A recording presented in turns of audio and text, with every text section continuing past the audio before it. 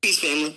This video right here, okay, is about the fact that I have successfully sued Brother Polite for over a quarter million dollars. Now, I'm going to be very, very, very humble in this video. Why? Because I believe in my own philosophy that I created called Humble Hand versus Iron Fist. Pause. Okay, so when you go and look up this case, Marshall Daniels versus Michael Hoak, which is wrong, it's Noack, which is Brother Polite. it says that this case is still pending.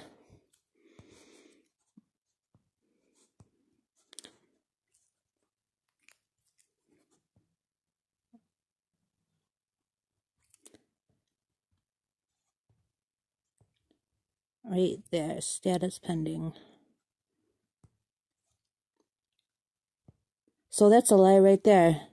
Alright, let's hear what else he has to say, because I definitely bought this court docket too, so we'll just have to see all the rest of the lies, but right off the bat, it's a lie, so let's just see what else he says.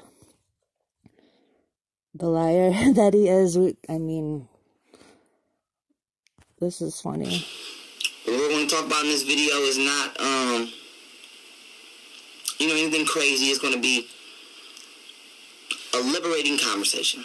And um, the important logistics of of, of, of why and, and, and what, you know, my intentions were is what I'll be discussing. Okay? So, is Brother polite rich? We about to find out. You Brother polite really got that bag? we about to find out. Um, if anybody sees Brother polite, I would like for you to tell him I need my bag. What you call it? I'm not gonna say where I believe he is, okay?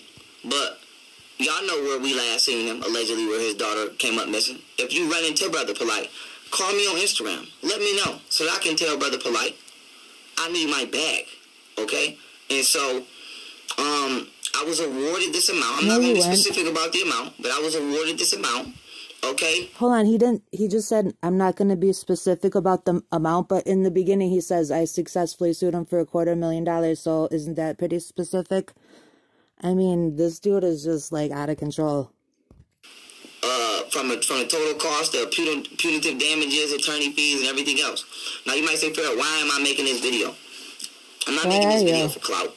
Polite might be broke. I might not never get paid. Okay, so if you think I'm banking and waking up every day, and I think I got a, a free quarter million dollar car, it would be nice, but I'm not dependent on that. Okay, because honestly, I don't. I think he's broke. Okay, because I, like I said, I'm not going to give personal details uh, you know, on this video for obvious reasons, but he don't got no mansion. He don't got none of that stuff he's talking about. All that stuff is rented. The boy was in a, a, a, a, t- a two bedroom apartment just like everybody else. He doesn't so he's not a, none of that. Do not let him cap.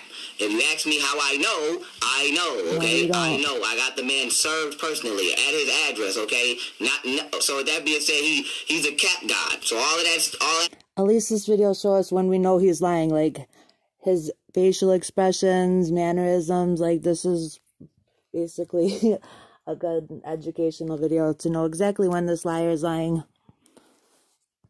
And it's sad too, because it's like, wasn't he the one that's like, oh, integrity and reputation is everything? Yeah, right. This is just pathetic, t- actually. flashy stuff.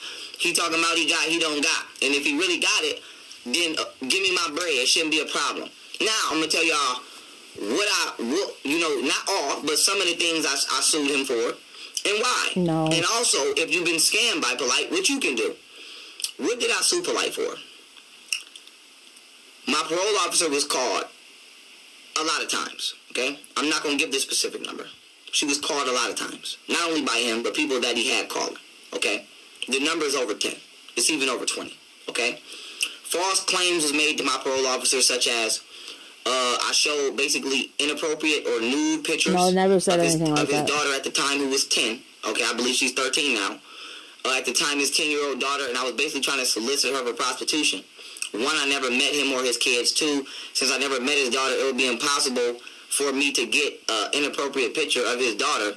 And if I did get it, I would have had to gotten it from him, which means why would he himself has inappropriate pictures of his own daughter? So he lied on me. Uh, he tried to slander me, basically like I was a pedophile, and he went into, he went to the extreme to even call my. Okay, let's just look at the court history. So that all started on August 10th of 2017. And it says nothing about any type of nude, anything. It just says defamation, which was never happened because he got his name wrong. So we couldn't even serve him. So again, just a whole bunch of lies and fraud and everything else we expected. Parole officer and lie on me. Now this also put me in jeopardization of, I mean, you know, jeopardization of going back to jail because police contact as well as any new charges is automatic violation, okay? So, boom, we don't stop there. He had a woman press charges on me. Him and a bunch of other people who admitted it. I have the screenshots of them admitting it, so they can't say they didn't admit it. I got the one screenshot of the uh, other dude who used to be a crackhead uh, named Hump. I got the screenshot of him saying, yes, even laughing he conspired, and he doesn't care. Okay, so that being said, polite him and a bunch of other people I won't name right now had a woman press charges on me in Baltimore. I went to trial for a year. Had to drive down to trial, drive down to Baltimore for a year. I couldn't do no lectures, do no events or none of that. So when some of y'all be like, Fair why when you come in here, when you a lot of times you didn't see me moving because I was fighting cases that people was putting on me for fake. So I had a case in Baltimore that I fought for a year because a woman lied on me and said that I threatened to kill her and her kid and throw them off a bridge. Mm-hmm. Uh, she also lied. One day I was driving to court all the way from Buffalo to Baltimore, driving to court, and she called the courthouse courthouse and said that I that I was gonna have the courthouse shot up. Okay.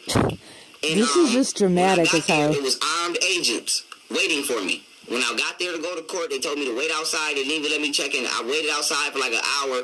My attorney finally gets there. He like, "Why you outside?" I'm like, "Listen, the district attorney and all the all the whoever them because I knew they wasn't bailiffs. So I'm like, whoever them people in there with them guns, they told me to wait outside. So he like, I'm gonna go see what's going on. He go in there, he come back out, and he like, oh what you call it, all them armed agents, you know why they're here, right? I'm like, hell no, why they, I'm thinking somebody, a big drug dealer or somebody in Baltimore and got arrested. This is, just goes on and on and on. I can't even take it anymore. Okay, so just basically at the end of the day, it says the default judgment will not be entered. The court will continue the matter to allow the plaintiff to file a valid declaration of due diligence from the process server detailing the attempts made to personally serve defendant before affecting substituted service.